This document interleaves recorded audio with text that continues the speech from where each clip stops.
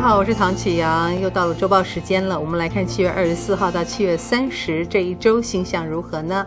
这周呢，太阳跟火星黏紧紧的，从二度到六度之间哦。所以，如果你的星盘当中有行星在二度到六度，都会受到这一股强劲能量的袭击哦。那它会带来什么效果呢？它在狮子座，首先第一个，它对狮子有直接的影响哦。狮子座的朋友很可能会有点兴奋，有点嗨，而且我说过了。它会让你红起来，会让你有爆红的机会哦。所以，我们当然要拿好的那一面来爆红，千万不要让你的霸道或暴躁爆红哦。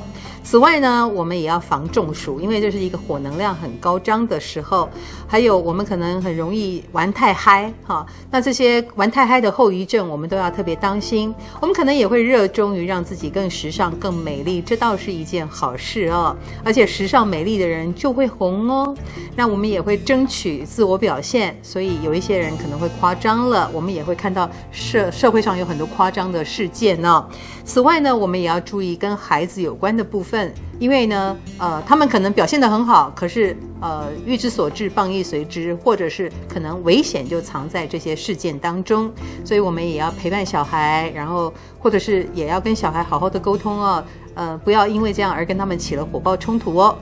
此外呢，在礼拜三的时候，水星会移位哦，水星会从狮子座移到了处女座，这会让我们关注的事情移动到处女关心的领域，所以我们多多少少还是会关注职场的事情，或者是肠病毒啦，啊，或者是细菌感染啦这一类传染病的问题，可能也会来势汹汹，让我们很担心。不过水星是强势位，所以这方面的宣导应该是做得很好的。我们也会很注意养生，然后也会去注意食。食补啊，或者是医疗等等这方面的课题，还有在呃这个职场方面呢，嗯，我们可能也会更多的跟我们的伙伴互相沟通，这是一件好事。另外呢，在礼拜六的时候，火土会有一个相位出现，这个。不只是礼拜六，可能从礼拜四、五六开始，我们都会有工作很 heavy 哈，就是工作的很累，或者是呃事情蛮辛苦的，而且突如其来的一个状况，所以每个人还是要注重一下自己的健康和能力。日火狮子呢，也会带给我们想要恋爱的心情，或者是我们看到旁边晒恩爱啊，或者是成双成对啊，会使我们特别的想要跟谁在一起啊，所以呃没恋爱的也都有动恋爱的念头了。我们来看一下对。个别星座的感应如何？工作方面呢，有双子、狮子、摩羯跟水瓶了。工作方面，双子座的人你会受到长官的拔擢，那当然是跟你聪明外露有关系，所以尽量表现自己，而且不惧怕上级的这个命令，你可以跟他对着干，这有时候反而是他欣赏你的原因哦。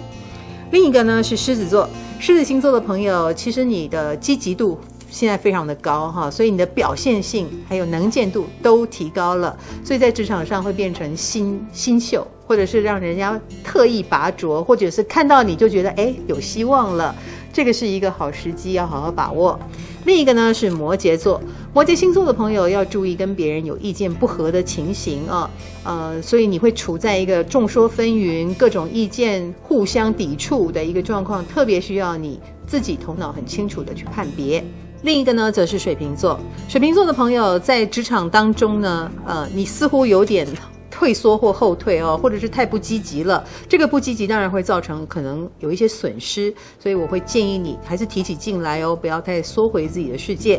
在感情上面呢，有巨蟹、天蝎、射手跟双鱼。巨蟹星座的朋友最近感情运桃花朵朵开啊，不过呢，这些桃花多多少少都有一种。还没有办法进展的感觉，他们就是把你当成家人，或者是跟你相处的很开心，而这样的人非常多，却没有一个人能够更进一步哦。所以，如果你对谁有意思，想更进一步，需要有人敲边鼓。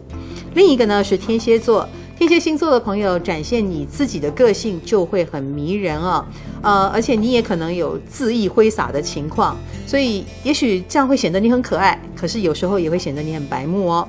另一个呢是射手座，射手星座的朋友，你的桃花来自于朋友的朋友哈，或者是呃跟朋友之间相处甚欢，所以有朋友变情人的机会，不一定成功啊，但是的确这种转变是有的。另一个呢是双鱼座，双鱼星座的朋友哇，感情运非常的旺啊。你最近桃花朵朵开哦，可能也跟你人逢喜事精神爽，还是有一些好表现，让人家觉得你很棒哦，所以是带着崇拜你的心来的。金钱上来说呢，是处女跟天平要注意了。处女星座的朋友，你不理财，财不理你哦。不过最近倒是有理财上的突破点，比如说你有没有房屋要买卖？如果有的话，哎，有机会哦，有人来询问了。或者是你的工作如果跟采买买办有关系，你能够杀一个好价钱，然后就会对你的这个工作很有帮助。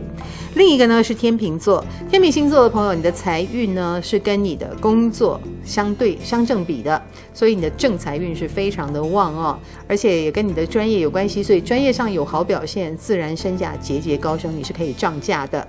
我们来看健康方面，谁要注意呢？那是白羊跟金牛了。白羊星座的朋友可能要注意一下身体健康哦，你可能有乐极生悲的情况，所以呃不要因为享乐过度熬夜，然后最后就生悲，或者是饮酒过度，或者是呃太嗨了，然后出状况，所以千千万万要记得不要乐极生悲。另一个呢，则是金牛座，金牛星座的朋友最近身体的底子不是那么的好哦，所以你必须要养生养气，否则的话病毒第一个找上的就是你哦，要当心。